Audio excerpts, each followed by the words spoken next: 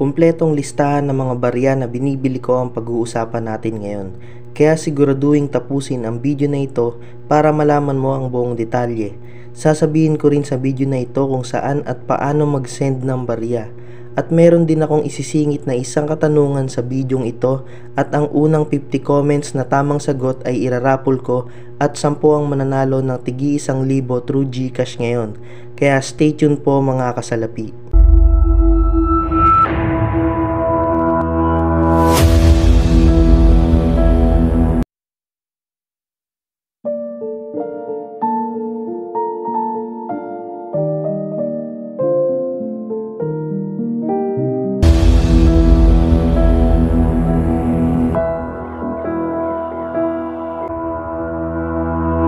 Kamusta mga kasalapi? Welcome po dito sa aking channel na kung saan ay 100% legit po akong bumibili ng mga barya at perang papel sa mataas na halaga. At kung bago ka pa lamang dito sa aking channel at nais mong matuto kung paano mangolekta ng iba't ibang klasing barya na may mataas na market value or nais mong makapagbenta ng mga barya na hinahanap ko ay huwag mong kalimutang mag-subscribe at pindutin mo na rin ang bell button para lagi kang updated kung ano ang mga barya na binibili ko.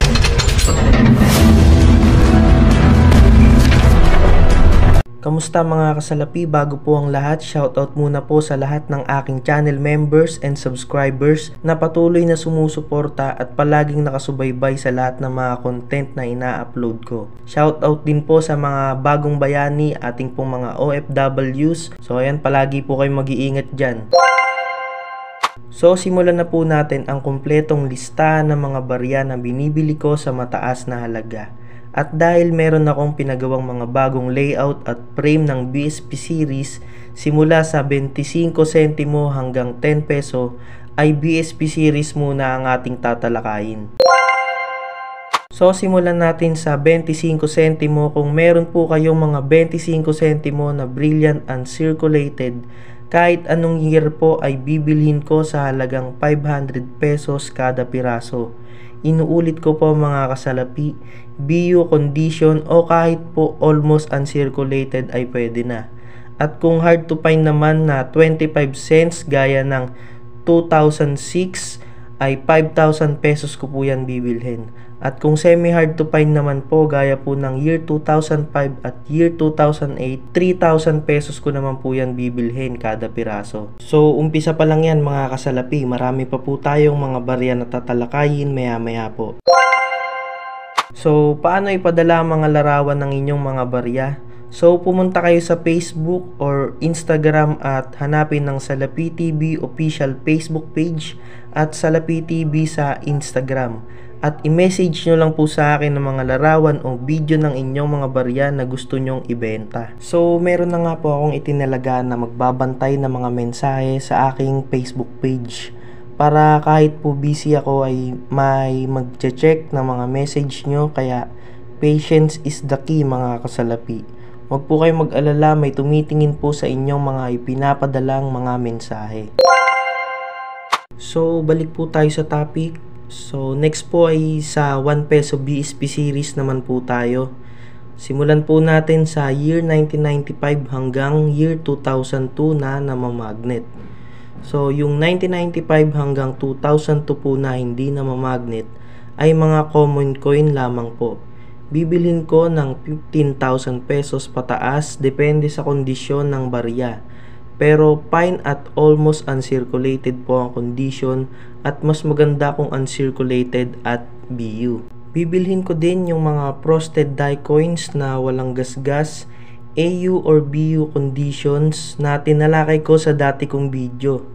Bawat piraso ay may katumbas na 10,000 piso at sa mga semi-hard to find naman tulad ng 1 peso year 2006, bibilhin ko sa halagang 12k pesos at 2007 2008 sa halagang 8,000 pesos pero dapat po ang condition ng barya ay brilliant uncirculated. Stricto po kasi ako sa condition ng mga barya. Siyempre gusto ko pag naka-frame yung mga collection ko ay maganda tingnan. Yung mga coins na makintab at walang gasgas. So siyempre nakakawala kasi ng stress pag tinitingnan ko yung mga barya. Lalo na bawat piraso ay may kanya-kanyang kwento at lahat ng mga barya Naaalala ko yung mga tao na natulungan ko at napasaya ko kaya sana yung mga barya na ialak nyo sa akin, yung talagang quality at yung tipong mapapawaw ako. So, ayun po mga kasalapi. So, next yung nag-iisang hard to find ng BSP series na 1 peso. Ah, yung year 2005, bibilin ko sa halagang 15k to 30k depende sa condition ng barya. Mas maganda, mas mahal syempre. Sama nyo na yung mga error na katulad ng off-center coin, rotated die error at kung ano pang mga BSP 1 peso error. At yung presyo naman syempre ako na bahala. Sa 5 piso naman mga kasalapi, meron akong separate video. Panoorin nyo na lang mamaya pagkatapos nyo panoorin to. So yun ay may title na Paanong 5 piso, isang daang libo ang value. So yun, panoorin nyo mamaya yan mga kasalapi. So nandun lahat ng listahan ko patungkol sa mga BSP 5 peso. Ah, di ko natatalakayin dito kasi masyado nang hahaba yung video natin ngayon. So next naman natin ay 10 peso BSP series. Lahat ng piraso bibilhin ko sa halagang 2,000 pesos. Hindi kasama yung semi hard to find at hard to find kasi syempre mas mataas sa mga value niyan. Ang condition ng mga 10 peso na bibilin ko ay AU at BU po lamang o almost uncirculated at brilliant uncirculated. Lalagay ko rin po kasi sa frame syempre.